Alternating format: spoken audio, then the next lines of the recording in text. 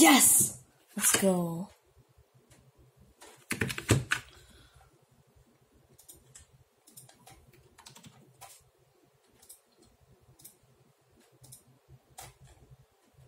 What? Yes! 444. What the heck?